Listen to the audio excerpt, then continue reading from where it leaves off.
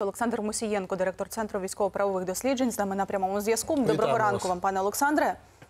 Доброго ранку, вітаю. Ну, отже, топ-тема розпочинаємо з неї. Підрив Каховської ГЕС. Е, ГУР заявляє про те, що вибух стався в машинній залі близько третьої ночі.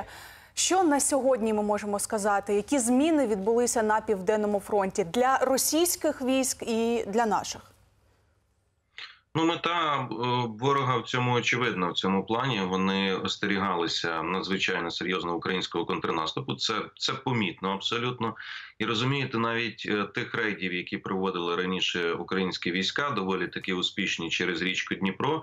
З метою знищення артилерії ворога на лівобережжі інших засобів, якими обстрілювали Херсон для мінімізації наслідків, вони викликали дуже серйозне занепокоєння і, е, скажімо, страх і роздратування у окупантів. Тому вони вирішили здійснити такий підрив навіть ціною затоплення своєї першої лінії оборони, на що вони цілком свідомо пішли, розуміючи всі наслідки мета, яку переслідують розширити русло річки Дніпро, і, скажімо так, унеможливити або ускладнити.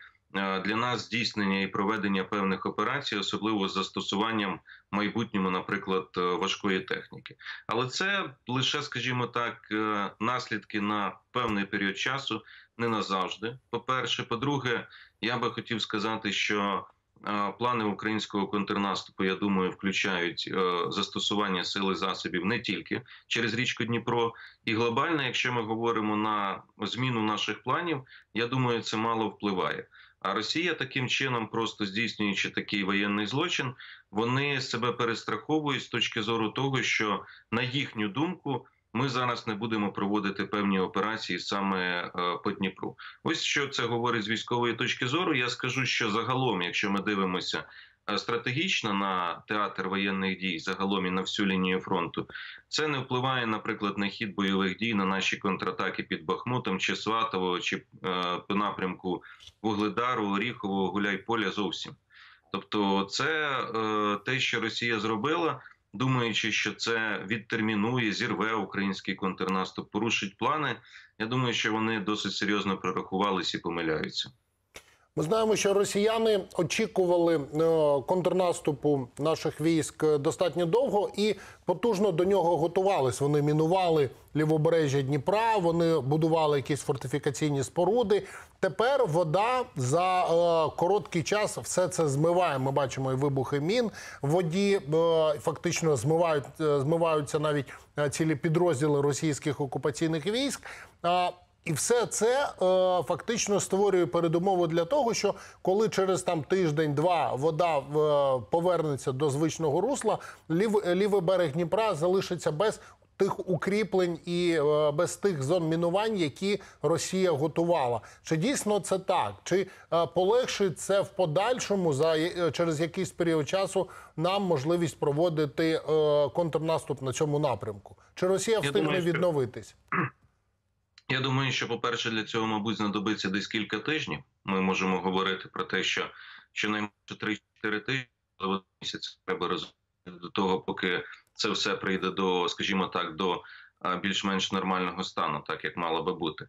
По-друге, треба розуміти, що вони відійшли е, на дальші укріплені позиції, які в них є лінію оборони. Тобто вони абсолютно свідомо затопили ці свої позиції, тому що доволі таки розумієте, в них зараз е, істерична реакція нервова, тому що все, що відбувається на фронті, я би виділив пересування доволі таки вдале і швидке маневрування українських військ, які проводять розвідку боєм, скажімо, намагаються знайти ось ті прогалини в лінії оборони противника.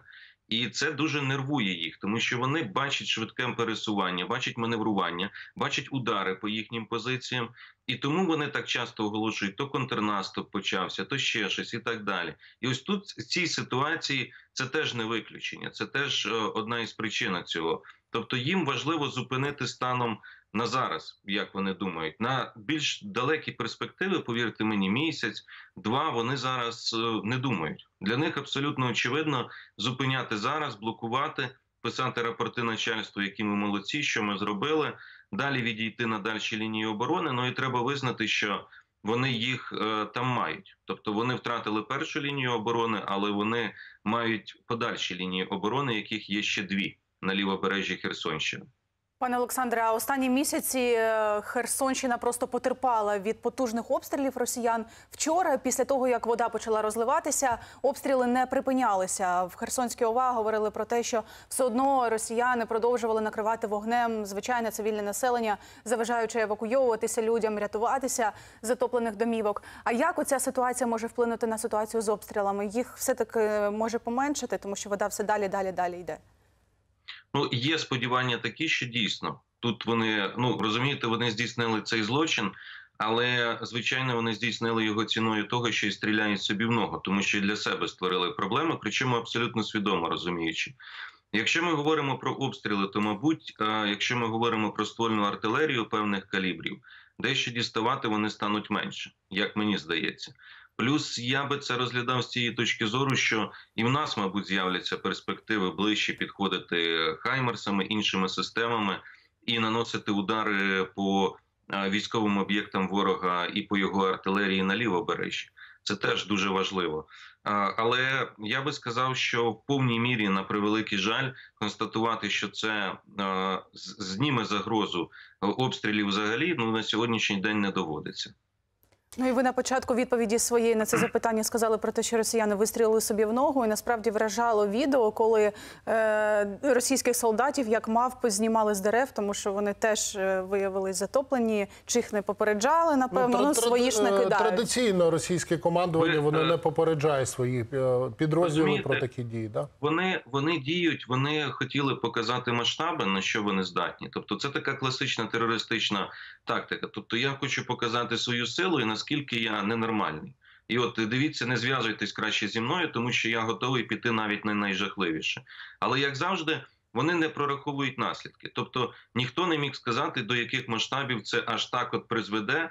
І це, це один момент. А другий момент, розумієте, Ну, після того, як вони створюють загратотряди проти своїх, після того, як вони своїх же вагнерівців мінують, не дають їм виходити з поля бою, мене абсолютно не дивує, що вони готові пожертвувати і своїми ж військовими, які будуть там плавати, затоплені тощо. Я дуже добре пам'ятаю, коли е, вони кидали е, своїх і не надавали їм допомогу, коли е, Україна на Київщині, наші сили е, підірвали е, дамби. І коли вони їх залишали, особливо в районі Мощина, просто от, от кидали, ніхто їм не надавав допомогу. А тут свої ж і так само ніхто допомогу не надає. Їм абсолютно в принципі на це байдуже. Е, Якщо подивитись на мапу фронту, то ми е, і це фактично підтверджувала в нашому ефірі позавчора е, заступниця міністра оборони Ганна Маляр. Ми починаємо такі локальні контрнаступальні дії в районі Бахмуту і на інших напрямках. Наскільки це відтягує сили російських військ, і чи дійсно ми створюємо їм навколо Бахмуту зараз такі масштабні, ну серйозні проблеми? Що стосується Бахмуту, там ми можемо сказати досить активно вже не перший тиждень йдуть українські контратаки, північний і південні фланги, де є успіхи у наших сил оборони.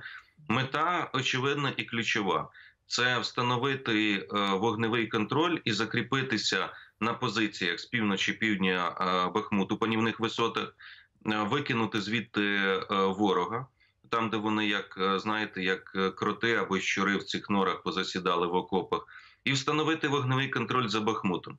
І це буде означати, що утримувати Бахмут для ворога буде вкрай складно в перспективі неможливо. Це перша задача. Друга задача це е, фактично операція по взяття в кільце Бахмуту по його оточення з метою знову ж таки блокування логістики для ворога з окупованих е, е, територій. Тобто на сьогоднішній день е, ці операції доволі таки ефективно проводяться. І зверніть увагу, як в російській інформаційних, скажімо так, пропагандистських оцих їхніх ресурсах зникла тема Бахмуту, взагалі святкування перемоги там і так далі. А зникла тому, що вони прекрасно розуміють, що на сьогоднішній день, втрачаючи перевагу на флангах, їм буде доволі складно. І зараз уже не те, що про, те, як виходити на часів яр, що вони хотіли зробити і далі на Костянтинівку, і далі рухатися. А е, мова йде про те, як би утримати позиції в Бахмуті. Тому дійсно наші сили проводять там контратакувальні заходи, як і деякі на Сватівському напрямку, і дещо на інших напрямках. Тобто, ми маємо вже перехід ініціативи на фронті на сході до нас. Тобто, це можна констатувати. Ну, можливо, саме тому росіяни так заістерили, підірвавши дамбу, думаючи, що це вже той контрнаступ, якого всі ми очікуємо. Дякуємо вам.